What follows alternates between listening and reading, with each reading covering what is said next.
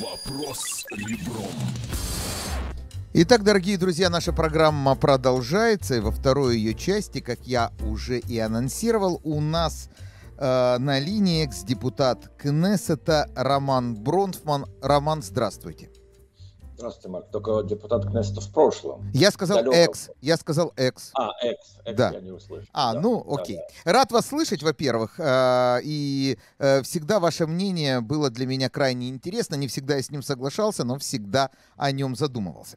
Итак, мы с вами решили поговорить, я предложил вам поговорить о Израиль и э, вот война, которую развязала Россия в Украине. И сегодня, выступая э, в университете имени Райхеля, э, министр обороны э, Бенни Ган заявил, Израиль сочетает интересы и моральный аспект, ну, говоря о помощи Украины. Как бы вы расшифровали вот эти слова «интересы и моральный аспект»? Ну, если говорить грубо, это меня на- на- напоминает э, русскую грубую пословицу и, и, и на кое-что сесть и приземлиться. Это попытка очень э, понятная. Мне легко, будучи уже не в политике, э, критиковать и говорить о том, что израильское правительство выбрало не совсем верный путь э, и не совсем верную позицию в том, что происходит в последние два месяца э, в Восточной Европе. Э, Но мне кажется, что Ганс, он человек недалекий, в общем-то, э, насколько я его хорошо знаю. И он говорит, э, что май то везу. То есть говорит правду матку. Да, это действительно вот это колебание, метание между тем, может быть, что бы хотелось. Во всяком случае, я знаю позицию э, не, э, что называется, не из вторых, а из первых рук нашего министра иностранных дел. У него позиция в основном э, верная, справедливая. Он считает, что любая агрессия, особенно агрессия э, мощного государства с э, ядерным оружием против соседской страны, это вещи, которые не вкладываются в нормальные этические нормы. Я об этом говорил, очевидно, вот эта часть о моралите, моралите Бенни Ганса. А с другой стороны, у нас есть две большие проблемы объективного характера, которые нужно учитывать, при том, когда мы критикуем правительство и говорим, надо все-таки высказаться против того, что происходит сегодня э, на российско-украинской э, границе. Первое, э, я начну как раз э, с более, так сказать, понятного. Это присутствие в России еще все еще сегодня по разным оценкам от 250 до полумиллиона не евреев, конечно, а то, что называется на иврите закаи хокашевут, это те, кто имеет право на возвращение. Вы знаете, что израильский закон, он э, закон, в общем-то, светского характера, а не еврейско-галахического. И поэтому он говорит, я следующую приведу цитату, прямо из закона, внук или внучка еврея или еврейки имеет право на патриацию со всеми сопровождающими прямыми членами семьи. Иными словами, если вы э, внук еврея, то вы не галахический еврей. У вас э, есть, так сказать, э, еврейские корни, но не галахический еврей. А вот по закону возвращения этот человек вместе с своей семьей подпадает под этот закон. Этот пункт называется пункт внуков. Религиозные евреи на протяжении долгого времени, даже в время моей каденции, пытались этот э, пункт отменить, этот параграф закона переписать. М, Кстати, в том числе и даже наш э, э, коллега, э, будущий министром Юлия Дельштейн, э, высказывал двойственное отношение к этому пункту, и жаль.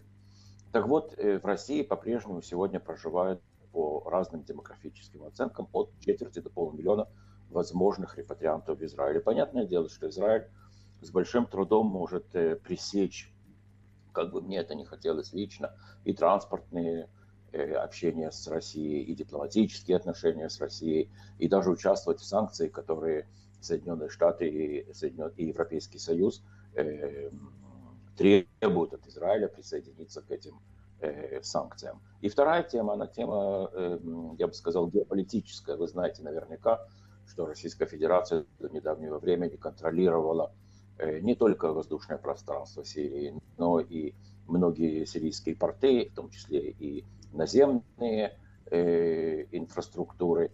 Она сейчас выходит потихонечку, кстати, из портов и из наземных э, инфраструктур, остается только за собой только контроль э, воздушного пространства.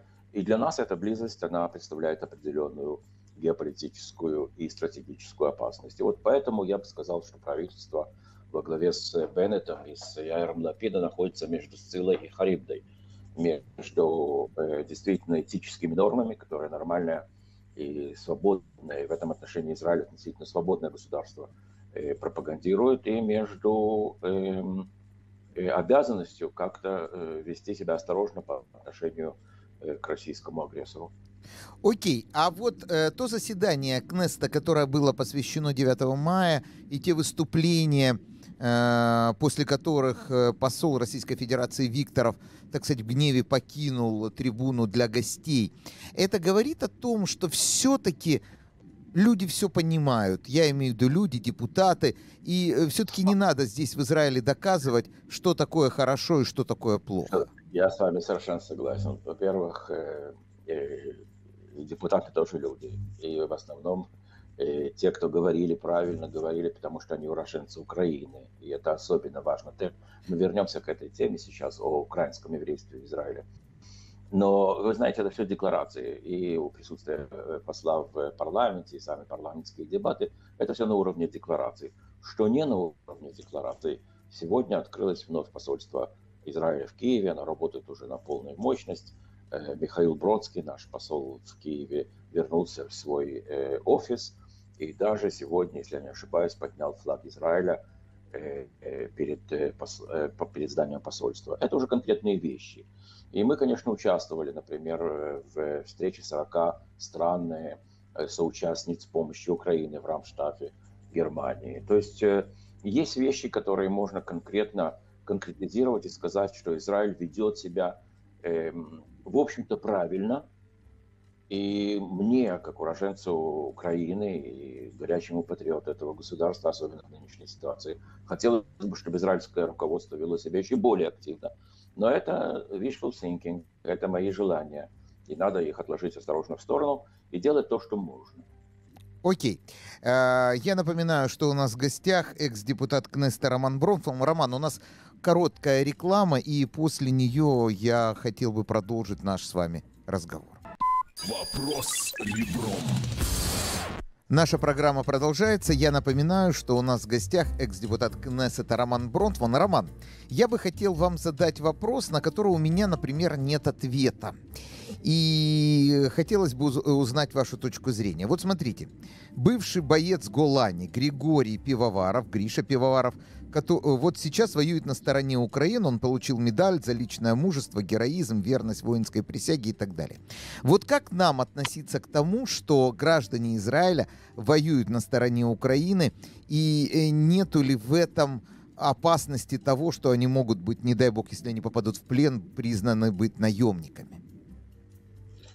Ну, есть опасность всегда такая, но дело в том, что не только э, Пивоваров или кто-либо другой из Израиля а таких есть несколько десятков, насколько я знаю, воюют э, на стороне Украины. Э, в Украине воюют э, сотни, а я думаю, что даже и тысячи волонтеров из всех стран мира. Добровольцы. Канада. Добровольцы, Доброволь... волонтеры. Волонтеры, волонтеры, да, это добровольцы.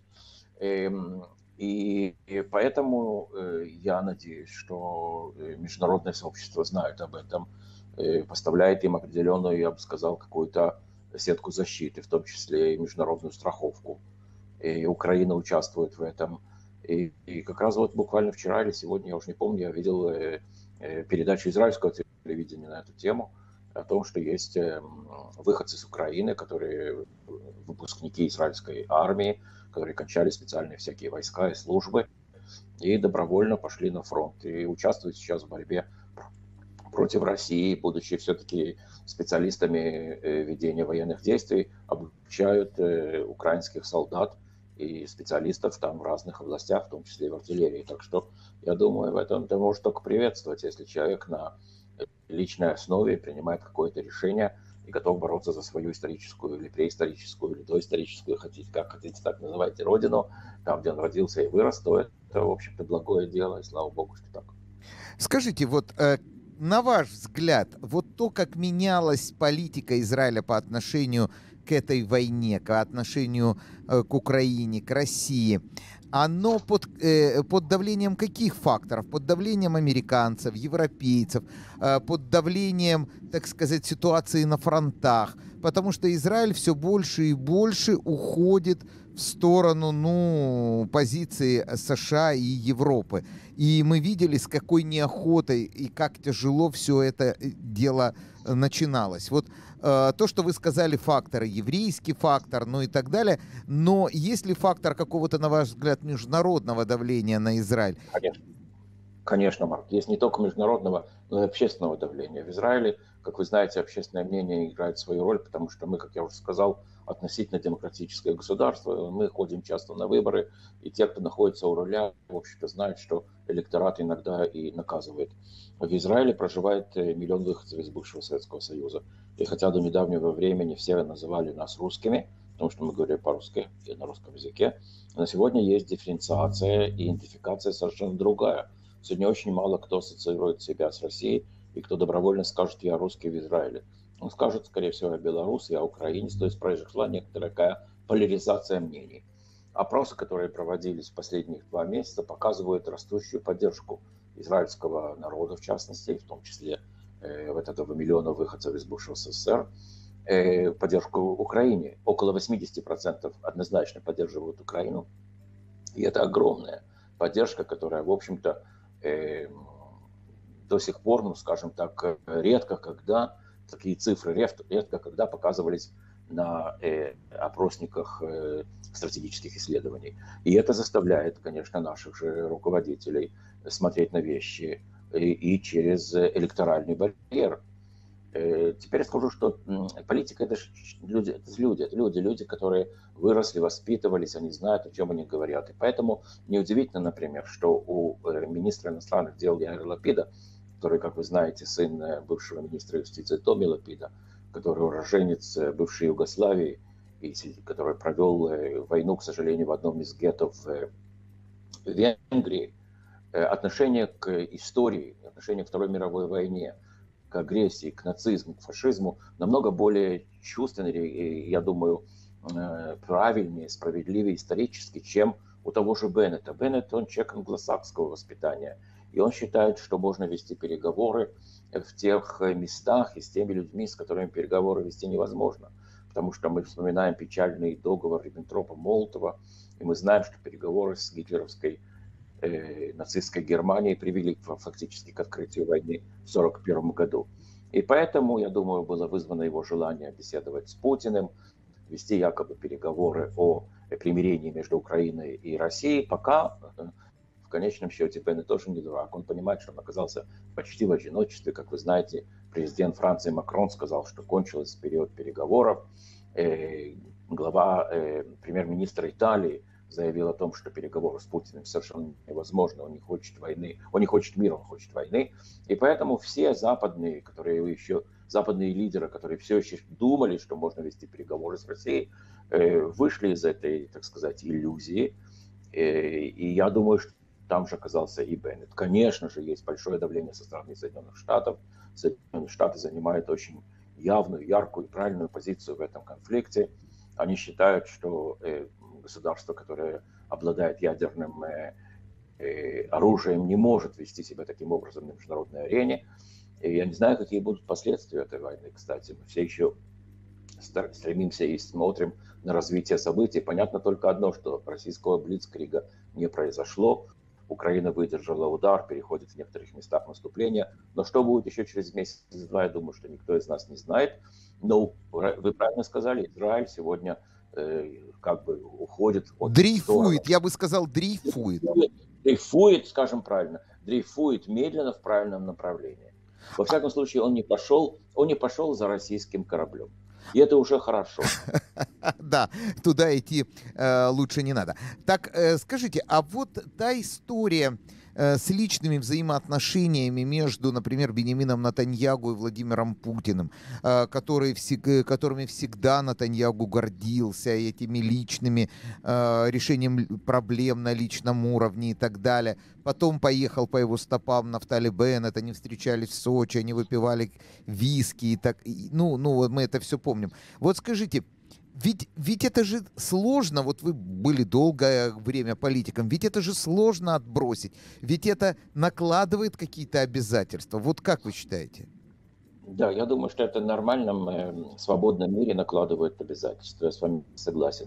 Э, в западном мире общение между лидерами, если это общение личное и реальное, то у него есть и, э, и цена, и престиж, и даже э, какие-то реальные конкретные действия. У Путина нет друзей. Путин – это не личность западного мира. У Путина есть только интересы своего государства, что это может быть и хорошо, как он их понимает, но для государства это явно плохо. У него есть личные экономические интересы. И, как вы знаете, у Путина нет никаких личностных отношений ни с кем, включая Натаньяу. Это то, что мы знаем о Путине. А то, что мы знаем о Натаньяу сегодня, что его интересуют совершенно другие вещи, чем благо государства и благо народа, и благо политики израильской, и личные политические интересы и выгоды. И все это была подстава, потому что э, Путин, когда начал в 2000 году свою карьеру, кстати, тогда я первый раз с ними встретился в 2000 году на э, ассамблее ООН, он придерживался довольно распространенного тогда в российских кругах мнения, что дружить с Израилем надо. Почему надо?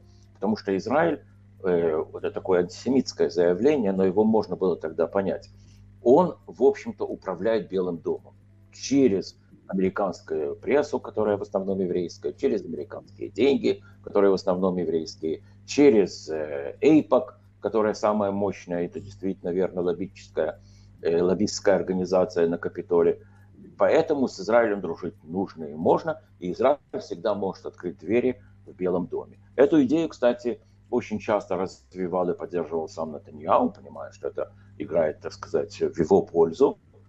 Но мы же знаем, что это не так на самом-то деле, потому что в Соединенных Штатах есть так много интересов, взаимоисключающих, а иногда помогающих. И не мы помогаем Штатам, а Штаты помогают нам – не мы американская колония, не мы э, американская метрополия, а американская колония. Мы зависим от, в общем-то, доброй воли Вашингтона и тех, кто сидят в Белом доме. И поэтому здесь все намного более взаимосвязано и сложнее, чем простой прием, ну, я не хочу обижать никого, но такого, условно говоря, среднего российского петербургского парня, э, который сел в царский трон – и он думает, что евреи действительно владеют миром. Евреи владеют многим чем, но не всем миром.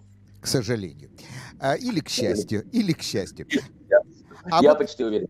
Я почти уверен, что к счастью. А, это, это уже другое. А, да, а вот скажите, на ваш взгляд, вот эта вот история с Лавровым, Гитлер еврей, э, потом Мария Захарова, которая говорит, что э, еврейские, так сказать, наемники воюют на Азовстале, э, вот эта вот э, вся вот эта вот история, она о чем-то говорит, кроме глупости министра иностранных дел, или она, боль, или она вот очень локальная, или более глобальная, на ваш взгляд? Нет, Марк, это не глупость, это, это не локальное высказывание. Э, недели до этого у Владимира Соловьева, который, кстати, тоже еврей, как вы знаете. Ну, такой крещеный, да. который купается в проруби, но кричит «я еврей» с крестом. Такой. Я еврей, да. Так вот, у него на одном из обсуждений э, появилась э, говорящая голова какой-то женщины, которая начала, в общем-то, первой а вы знаете, что на Первом канале российском нет прямого эфира. Все записывается, проверяется, вычитывается, до последней буквы, а потом передается заново, э, транслируется в смысле. Э, так вот, эта женщина озвучила впервые нападки антисемитского характера на российскую журналистику. И сделала то, что делали в 50-е годы э, при Сталине, так называемое дело о космополитах, если вы помните. Ну, конечно. Тоже и вот она значит, рассказывала про редактора «Эхо Москвы», про двух сотрудниц «Эхо Москвы», говорила, что они вообще евреи, одна из них израильтянка, и этот тот еврей, тот еврей. И, в общем-то, вся наша российская пресса в руках евреев, и они нас ненавидят, и они против нас, россиян, так она сказала, я цитирую, подстрекают. Это был первый удар, это была первая, так сказать, ату. И вот ату на евреев уже было дано, конечно, сверху, поэтому и Лавров сказал то, что он сказал, и Захарова сказал то, что он сказал, то, что она сказала. И вчера э, э, российские зенитные войска пытались обстрелять израильский истребитель в Сирии. Это все, э, конечно же, одна и та же, одно и то же явление, это звенья одной и той же цепи. Это, в общем-то, э, э, я бы сказал, реакция Кремля на вот это вот дрейфуния, дрей, дрей, как говорят Дрейф, на, на этот дрейф. дрейф. На этот дрейф, который вы правильно его очень назвали, потому что это именно дрейф. Это вот именно то явление, которое, так сказать, идет медленно по воде, дрейфует в сторону Украины. Да, это, конечно же, реакция Кремля, ничто не остается безнаказанным.